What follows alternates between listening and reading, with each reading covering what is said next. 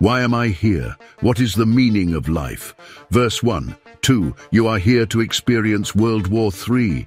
Let it be written in these simulation scriptures, the last war approaches. World War III darkens the horizon, a gathering storm, a tide of total war. It is inevitable. Millions will die.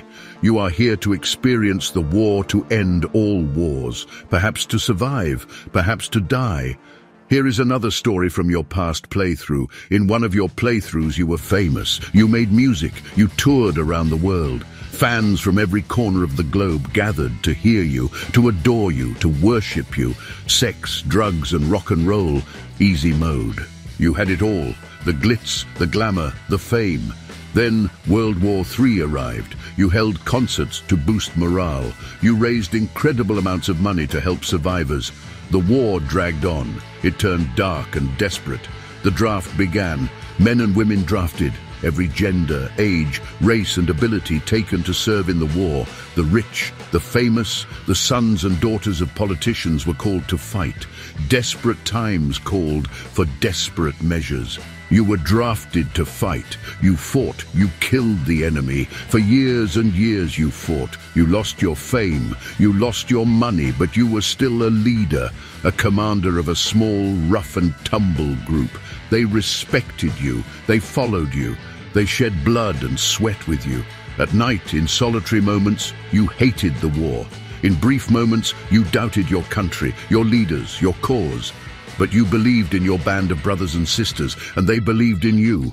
You felt more alive than ever, more alive than any concert you ever did. Then, one day, an ambush occurred. The enemy stormed your encampment. They shot your friends. They fought you and you fought back, savagely, brutally. And in a moment of instinct, you took a bullet for one of your friends. You died that day.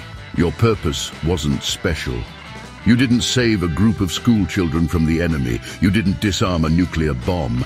All you did was give up your life for your friend.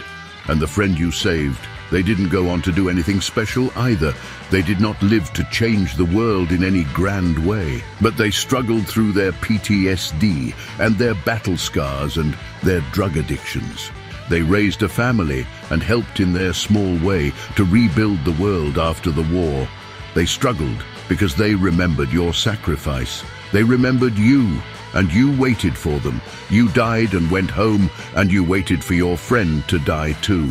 You waited for your friend to finish their playthrough of this World War III simulation. You waited for them to exit their theatre.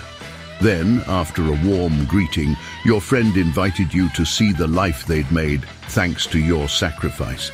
You both sat in a communal theatre and you watched your friend's life after your sacrifice. You both relived the traumas of war, the joys of winning the war, and the amazement of raising a family while rebuilding the world, both of you laughing at the wild ride of it all.